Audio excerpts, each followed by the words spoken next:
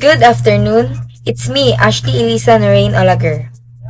And it's me, Asif Las Piñas. And it's me, Leia Milimba. And lastly, me, Ivy Orbilia. And come join us as we explore and discover what is an earthquake, the plate boundaries, and the causes on how it happens. Firstly, let's discuss what really is an earthquake.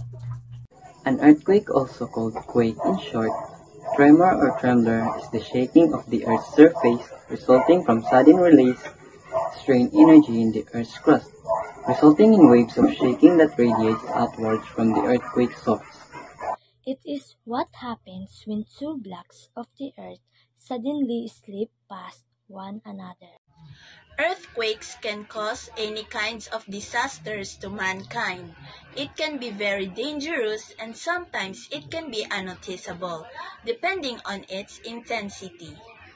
Even though earthquakes rarely happen, it shouldn't be underestimated. As soon as an earthquake happens, everybody should be prepared whatever the level of the earthquake is, as anything can happen anytime. Just like the earthquake that happened in the past, the 1960 Valdivia earthquake, or also called the Great Chilean earthquake that happened in 1960. According to the United States Geological Survey, USGS, the 1960 Valdivia earthquake, also known as the Great Chilean earthquake, is the strongest earthquake ever recorded. It hit the Valdivia town in southern Chile on May 22, 1960, and its magnitude was measured at 9.5. Simply speaking, earthquake means the shaking of the earth's surface.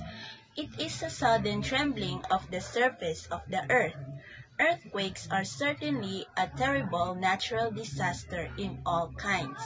Furthermore, earthquakes can cause huge damage to life and property, and there are some earthquakes weak in nature and probably go unnoticed by some. Now that we've known what's an earthquake and what earthquakes can do to us, let's proceed on discovering its causes. Earthquakes are the result of sudden movement along faults within the earth.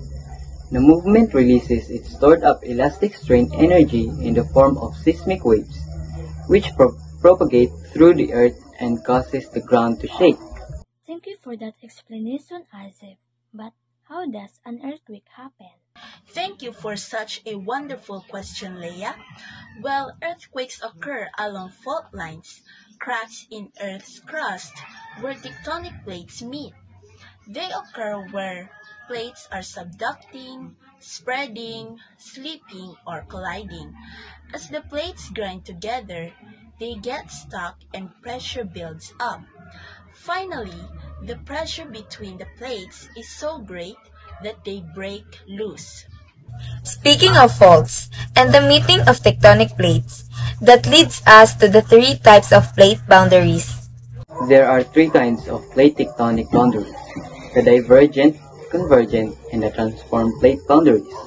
A divergent boundary occurs when two tectonic plates move away from each other, while a convergent boundary is an area on Earth where two or more lithospheric plates collide.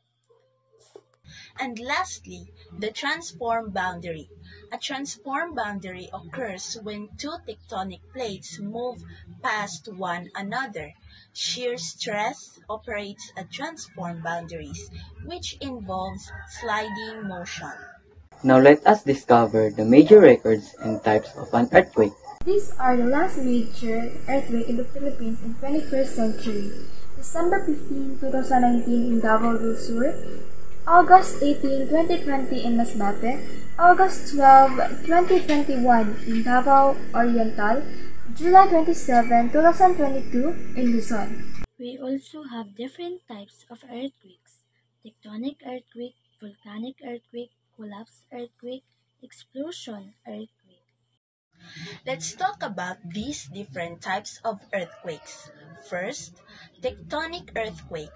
These tectonic are produced by sudden movement along faults and plates boundaries.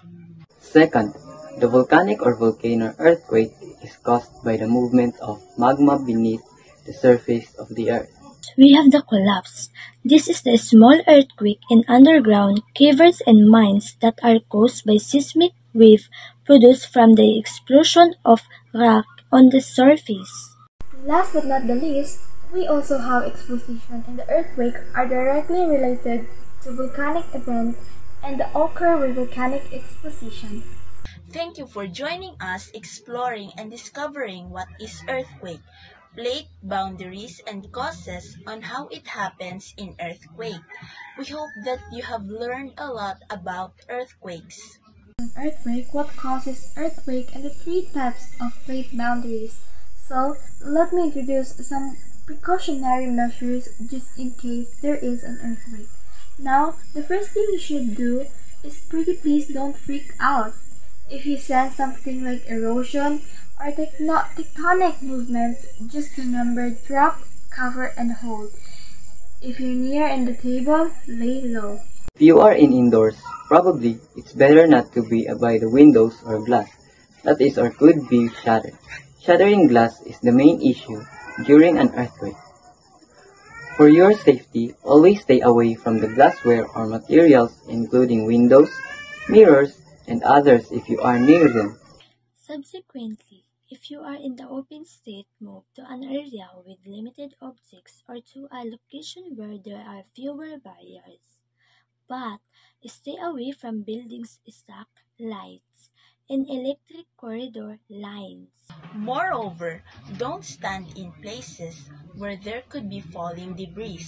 That could include tunnels and overpasses. If you are driving, pull over to a safe spot and stay inside the vehicle until the shaking stops. If you have experienced the earthquake, walk by cautiously and be ready for aftershocks. Look for injuries first when it's safe to move around and check off damages on the things beside you. It may help be to it may be help to listen to the authorities instructions or updates through radio regularly a little reminder it is better that we have knowledge here because there might be an earthquake to happen Information is really vital when one thinks about settling the questions on how to properly prevent and respond to earthquakes. In this way, it provides us with main approaches which are accurate and reliable in order to protect people. However, as a result of this, we emerge with large volumes of data that not only helps us predict that earthquakes with high accuracy but also gives us more details about the event as well. Goodbye for now. thank you for listening.